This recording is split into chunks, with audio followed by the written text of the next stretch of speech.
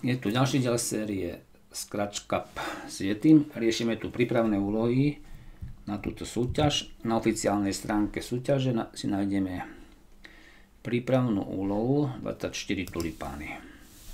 Pozrieme sa dovnútra. V projekte je skrytá postava s obrázkom na srdcevu tulipánu. Ktorý sa koľko kostýmov má táto postava pripravených a ako sú usporiadané. Tak najskôr je tam rast a potom tri kvety, tri farby. Máme zobraziť na scéne na náhodných miestach 50 až 100 tulipánov a potom bude každý tulipán rásť. To znamená, bude si meniť tie kostýmy. 1 až 3 sekundy. A nakoniec sa zmení náhodne na žltý, fialový alebo červený. A simulácia skončí. Takže môžeme ísť na to.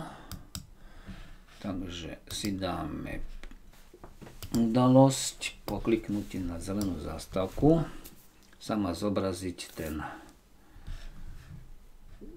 prvý kostým.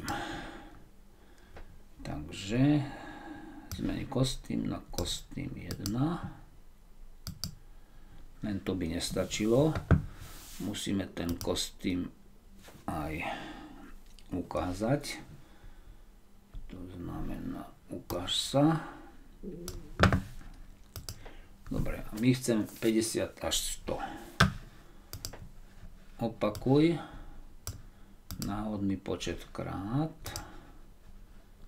50 až 100.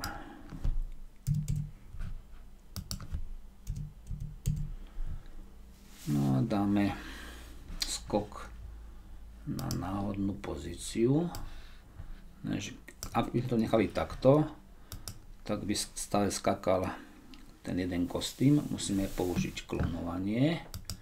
Skočiť a naklonuj sa.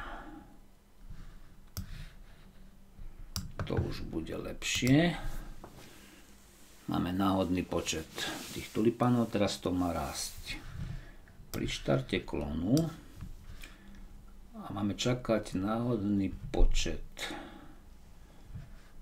Sekúnd 1 až 3 takže dáme čakaj. Opäť potrebujeme náhodné číslo. Od 1 do 3 a dáme sa naklonovať. Nie naklonovať, ale zmeniť ďalší kostým, takže dáme ďalší kostým. Ideme si to vyskúšať, ako to bude fungovať.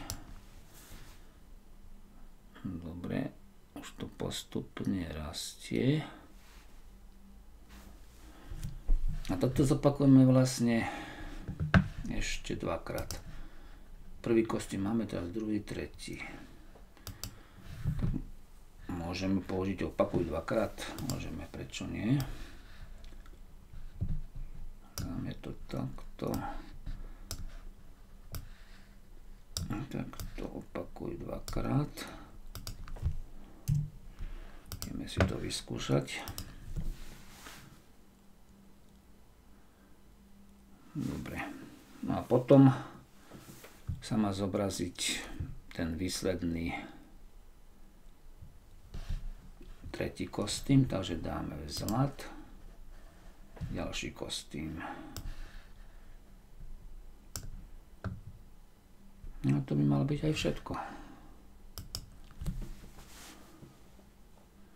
Dobre. Len takto nám rastú iba žlté tulipány.